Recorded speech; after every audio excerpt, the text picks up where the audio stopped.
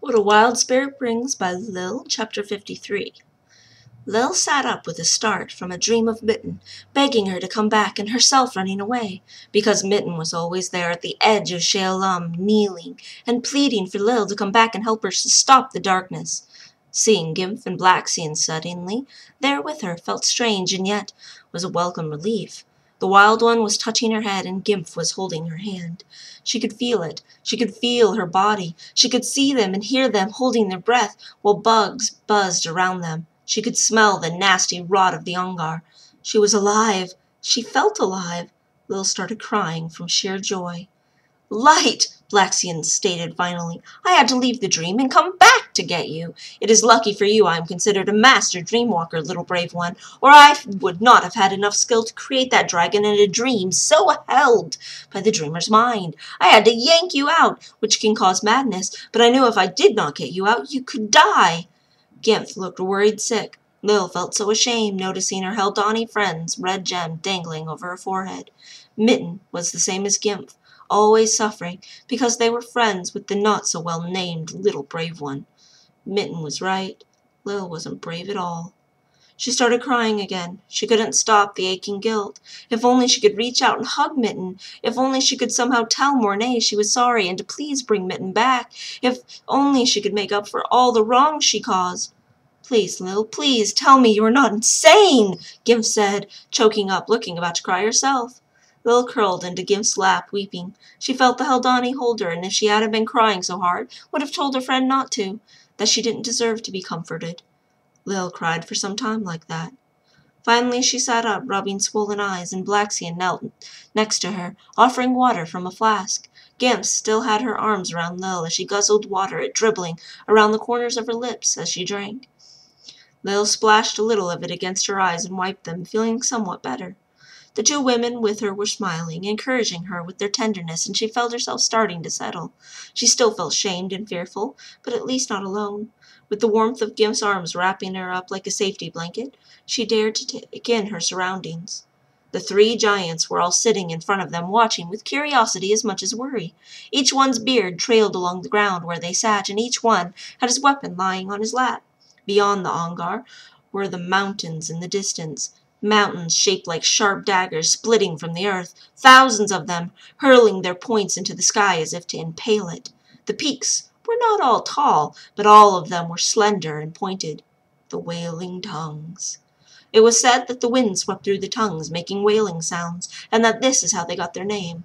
Lil watched the mountains so different from the wide, craggy ones of Andrus.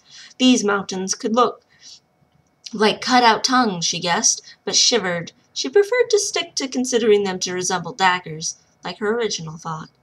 Yes, little brave one, we are almost there, Blackskin said, after letting Lil stare at the wailing tongues for a few minutes. Then Lil was offered some bread by Blackskin. She ate it in little bits, chewing slowly, savoring the ability to taste, to feel food in her mouth, to feel the tearing bread in her fingers. It was precious to be alive, she realized eating that bread. How do you feel? Gimph asked, again worry undertoning her gentle smile. I I feel. You feel? Yes. The Heldani looked concerned, casting her eyes to exchange a questioning look with Blackskin. The Wild One studied Lil a moment, and then abruptly struck her.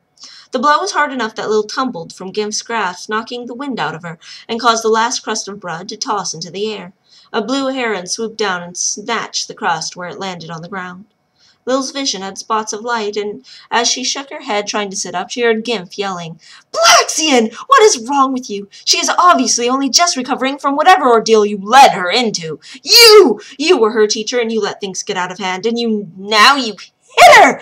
I will not allow it! I warned her when we first started she would be struck if she did something wrong. She is an Entha. You have no say in how she is trained. Gimph suddenly had fire spouting from both hands, wind kicking up and swirling about her, causing her cloak and hair to flail upward. Blackskin took a step back, but still kept a firm face. Gimph started lifting her hands as if to throw the fire. No! Lil shouted, hand on her head. Gimph's hands remained half poised to throw, and then, as quickly as it begun, the wind died down. The fires winked out, and the only thing that indicated What had almost just happened was Gimph's hair all tousled, and a red and yellow glowing rune gently winding their way back down the length of their chains to the Haldani's belt. Lil sighed with relief. Blaxion still stood aground.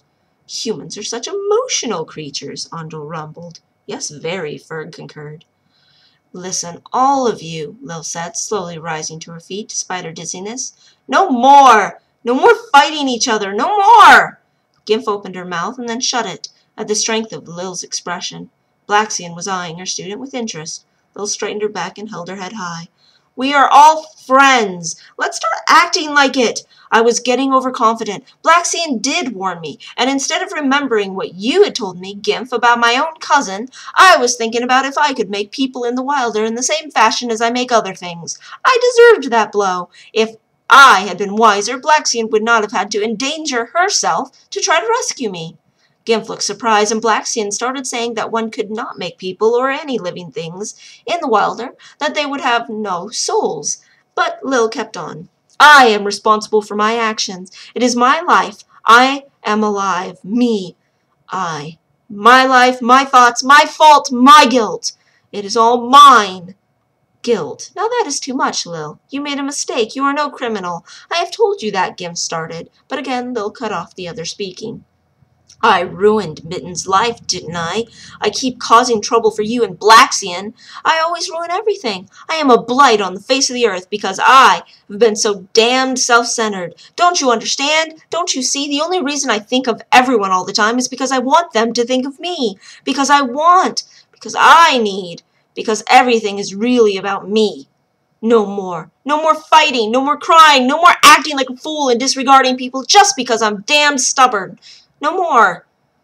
The Younger and the women stared at Lil. She stood seeming taller than her height, eyes grim and flaring with anger and strength. Her fists were clenched at her sides, even her breath yet heavy. But not a tantrum. It was not a fit. It was a moment, a moment that held everyone like a clamp.